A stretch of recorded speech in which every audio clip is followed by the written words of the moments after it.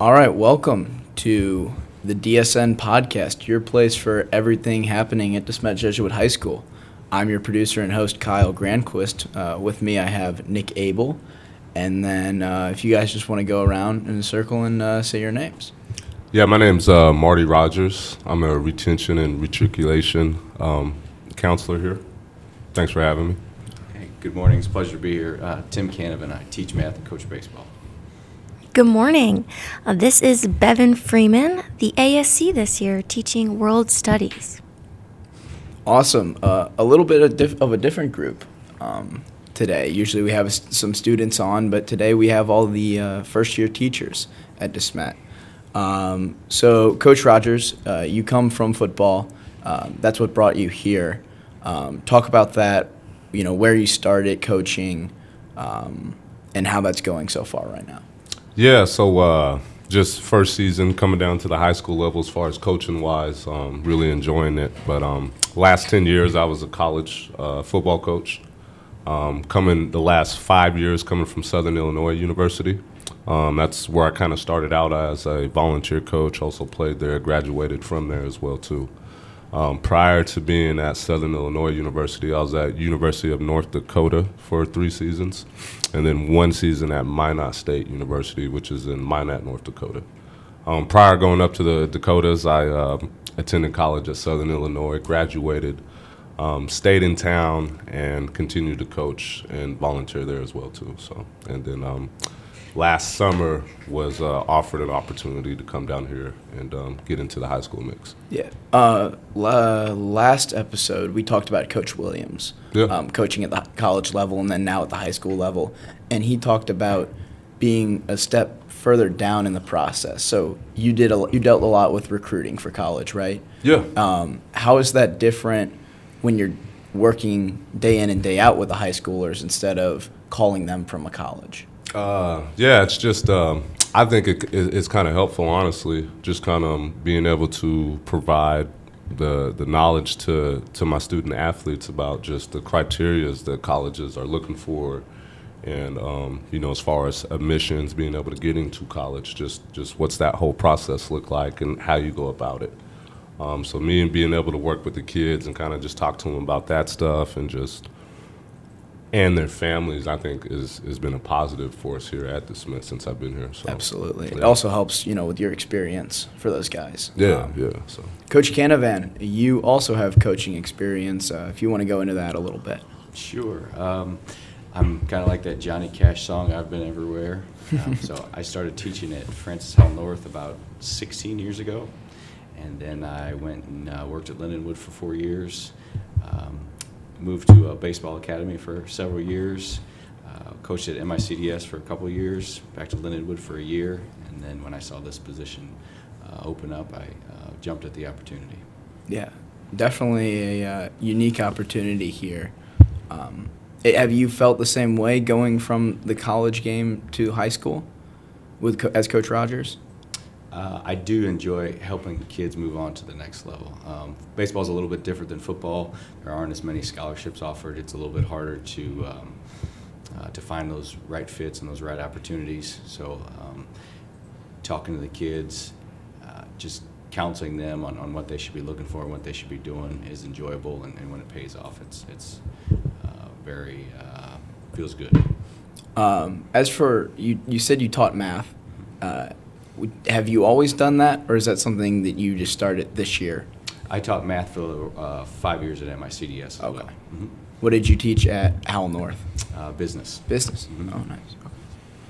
Miss Freeman, um, a little bit different background so far.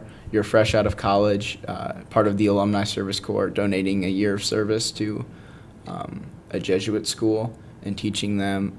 Um, what's that been like? And yeah, yeah, just what, what's that been like? Sure. Well, um, for anyone that doesn't know, I just graduated from Xavier University, a Jesuit university. Um, so I'm happy to continue the Ignatian education here at DeSmet Jesuit. And yeah, it has really flown by. Um, everybody says that, you know, it's going to fly by, and it sure has. It's been wonderful. I've loved teaching history, and it's just been a pleasure to get to know the students here. And I'll be sad to go um, in May. Do you know what you're going to do after May? No, not No, yet. Not yet. But thanks um, for asking. Hmm. I'd like to teach um, next year. okay, cool. Um, as far as if you can think back to your high school experience, do you find that DeSmet is very similar to high schools or completely different? Mm, that's a good question. Well, I mean, there is one major difference. Uh, I went to an all girls school, and DeSmet is an all boys school, but um, I do think that that um, format for a school is unique and special. Uh, obviously, just you get different um, kind of experience with the different um, boys versus girls, but it's been similar in the mission. Um, I went to a mercy school, so a Catholic school where you know compassion and justice, uh, service, similar values to the Jesuits. So it's been nice to kind of tap into that. Um, and I, as a senior in my high school, I went on the Kairos retreat, and um, this past spring or just a few weeks ago, I was able to be an adult on the Kairos retreat here. So that was a really cool way for me to reflect on where have I grown and how can I be a role model for the guys here. What made you choose a Jesuit university and then join the ASC, Alumni Service Corps? Well, there are no um, Jesuit schools for girls um, where I grew up in New Jersey. But if there had been one, I probably would have gone to that because my two older brothers went to St. Peter's Prep, which is a Jesuit high school. So my family was all about the Jesuits there. Um, they both went on to Jesuit universities as well. And then when it was time for me to look for a place to go, I thought, I really like the Jesuits. So I think I applied to 12 schools, and a lot of those were Jesuit universities around the country.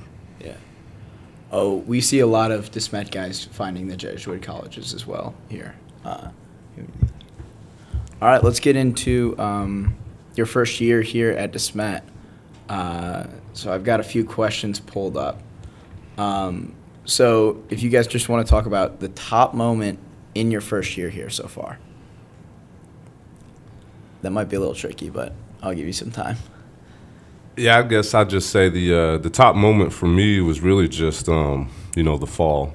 I, would say fall semester, just just coming in and, and meeting all the new faculty and uh, kind of uh, the the students, um, getting to know my football guys. Kind of you know you got a roster of you know about 80 strong, and just trying to remember everybody's name and, and get to know them and little things about them and um, just figuring out what, what the school's about. You know what I mean? You kind of know what the mission is, and then you, you get into the uh, to the program, and, and, and you kind of see how the mission takes its turn working on all the kids throughout the school and things. Um, so just being able to meet everybody, kind of seeing what everything's about, um, being accepted was was really a high for me coming in this two, uh, this year. Just kind of being in college the last ten years, um, knowing it's going to be a little bit of different just from the uh, personnel you're you're working with um, on a daily basis, and um, no, those those are real highs for me. Just uh, you know, meeting all the kids in the morning time, walking through the hallway, hearing "What's up, Coach? Good morning," all that other stuff. Um, just all the conversations at the coffee coffee room in the mornings, afternoons. Um, just no, it's been been a high for me this year. And you were you were tasked with a hard, you know, and difficult thing, and you were kind of thrown right into football season. You know, it's your first year teaching, and right when school starts, your first couple days, you al- already have practice as well. So was that did that add to the difficulty, um, or you know, was that just kind of Uh, no, I'd say like the football part's easy. Uh, Yeah. I've been doing that for a while, so pretty pretty comfortable and familiar with uh, how that works and what that what that takes. Um, like I said, just kind of getting to know everybody, getting um, comfortable with my teaching role, um, learning names, um, where to park, where to, you know, just just just little things was kind of the challenge for me. Yeah. You know, the football parts, uh, I feel like that's natural, that's the easy part, but uh, getting to know people, just understanding how everything works, just with with football going on. You know, I mean, I think I got here late, um, kind of later in August, so and it was just kind of got thrown into the fire. So here we go. Yeah. But no, it's uh, it's been enjoyable. Nice. Coach Canavan? I think the thing that stood out for me so far this year is uh, Mission Week. Yeah. When this when the schedule was sent out uh, in the in the weeks leading up to it, I thought, oh boy, this is gonna completely disrupt my routine. My classes are gonna be crazy. But I just remember looking back and thinking, wow, this is a lot of fun.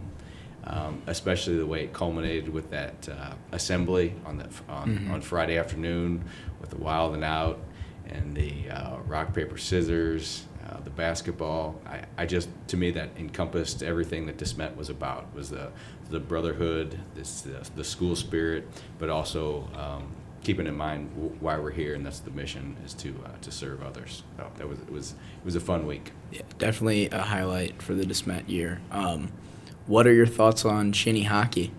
Had, have you ever seen the sport before, or have you seen it to that degree? I so my assignment during the week was to be out on the football field for the the bubble soccer. Oh, yeah. So I didn't get to see much of it. However, I did see many people walking through the halls that week complaining about their shins. Yeah. And I, I said, "What's going on?" And they said, "Well, this is uh, these are hockey wounds." I and, then, Yeah. then it all made sense. I think uh, I think by the championship, kids were duct taping their knees to uh, to keep the the skin. It's the price of glory. It's Nick price of Abel, you uh, you're shaking your head. Yeah, I survived, but probably barely. That, that last game was awful.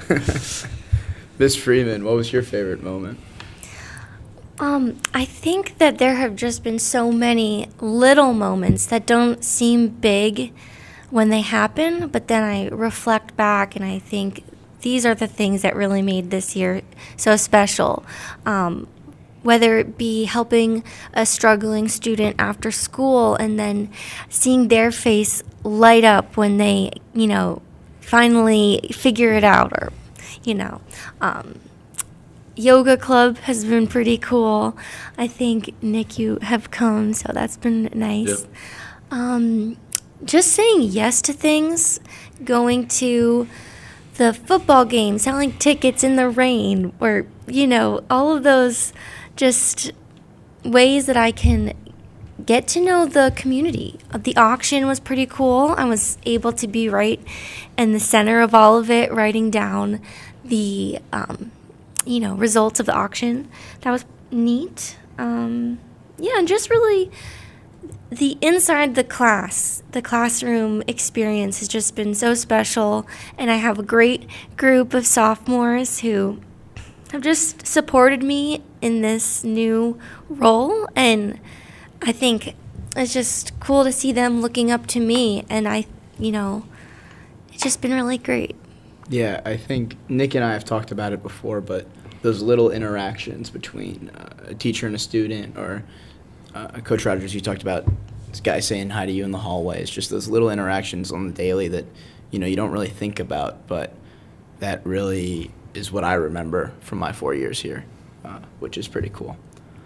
Um, this one might be a little more reflective. Um, one experience you've learned from this year, and what you've learned from it. I would say for me, um, again, coming from college where you're just dealing with a, a different group of kids, age-wise, is you know I just got to re, you know remind myself that um, you know they, they still are kids. You know what I mean? And um, just thinking about what what kids need um, every day to to have positive days, um, and just trying to find different ways, positive ways to to impact kids whether it's you know whatever way it takes you know what i mean and um, that's what i would say probably the most is just um just that Yeah. Maybe you can speak to this too, Coach Canavan, but I feel like in college, maybe guys are maybe a little more independent. You think that's safe to say? You know, I, I think in high school, you know they're learning that independence, and so maybe they they might need a coach around more. In college, do you kind of you know is that a little more free reign? Yeah, I'd say they're they're kind of a little more ready made, um, as far as just knowing the expectations and you know, from freshman year to senior senior year, there's a lot of growth there, and um, in college, you know, I'd get them at the top of their growth when they're getting out of college, you know, start you know, or getting out of high school going into college to. You know, dealing with freshmen and sophomores and, and juniors and you know things like that. It's like I got to remind myself that they they still need a lot of work, and um, you know whatever that could be or may be. Um, so just whatever I could can do to um, you know try to factor that and and influence that in a positive way. Coach Canavan? I, Coach Rodgers said it great, uh, best way possible. We just have to keep in mind um, that we're dealing with younger, uh, younger men now, and they're still works in progress, and we have to be patient and, and see what they need and, and help them uh, grow into manhood. Um, specifically with with baseball or with athletics, um, I think their their motivation and their goals are a little bit different between high school and college. You know, in college, you're very motivated. You you want to be the very best. Sometimes in high school, it's just a young man that wants to be part of something, wants to have fun, uh, wants to be as good as he can be, um, and uh, learning to uh, balance all that and make sure that each young man has a has a good experience is, has been important to me. Yeah, uh, that's something I've worried about, especially going into college. Is you know, being a senior here now, and then you go back to a freshman, and you're kind of the, the you know, small fish in a big pond again. Um, but I think from where I started as a freshman here to where I finished as a senior uh, has been monumental growth. Uh, so I'm excited for that. Miss Freeman. Um, yes. So I think that the thing I've learned the most is that as much as you want something to go a certain way and you plan and you plan, um, God might have another vision, and it's okay to just trust the process. And as you both have said, they're just kids, and it's okay if you know if they don't get something right away, or if they mess up and they mess up again, and then they mess up another time. It's all it's all okay. They just need to be loved and to, you know, um, have that adult following through with them, and yeah, I just learned that it's there's ebbs and flows in this whole thing. So some days and weeks are going to be going really well, and other days and weeks not so much, and it's okay. Just you got to ride it out, and yeah, by the time you're a senior, hopefully there will be um, some of that growth, and I think we really see that here at Desmet. Absolutely. Uh, and then one last quick question. Um, so you guys are both returning. We know that.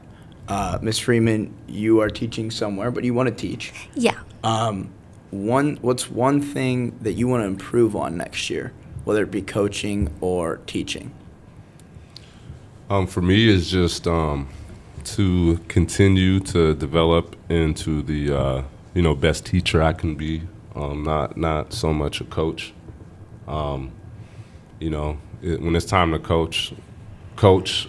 But when it's time to teach, you know, being a teacher and just being receptive and understanding um, f- for the kids' needs. Yeah. You know, and then